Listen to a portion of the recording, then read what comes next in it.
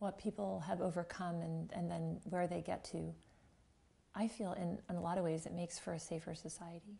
It makes for people that understand their defenses and then can have disarmed themselves now don't need to defend themselves in quite the same way anymore. So I'm wondering if you can talk to that. Yeah.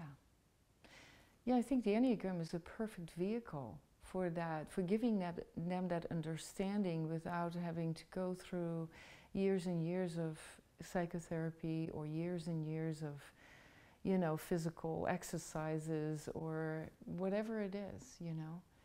Uh, the, the beauty and the strength of the Enneagram is that it really recognizes the way the type structure organizes itself uh, internally in order to first and foremost survive.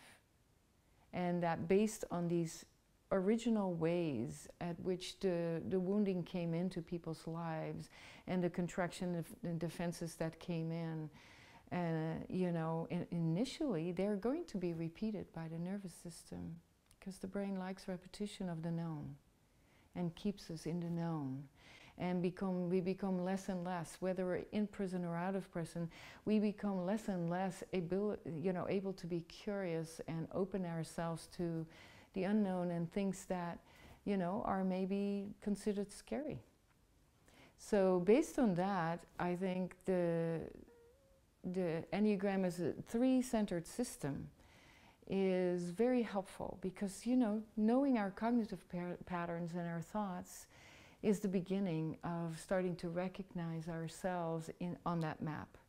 And then dropping a little further down into the emotional components is a little bit of a stretch. And our society doesn't really allow, especially the negative emotions, to be viewed and seen. So they automatically get repressed. But then to drop further down into the belly, into the instincts, you know, and the defensive reflexes, you know, that's even more taboo.